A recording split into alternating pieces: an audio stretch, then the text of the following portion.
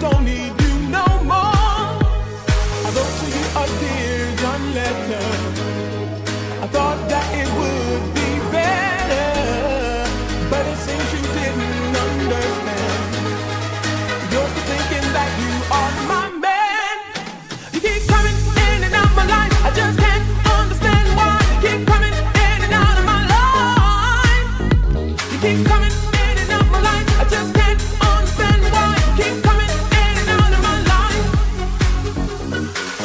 You go away and come back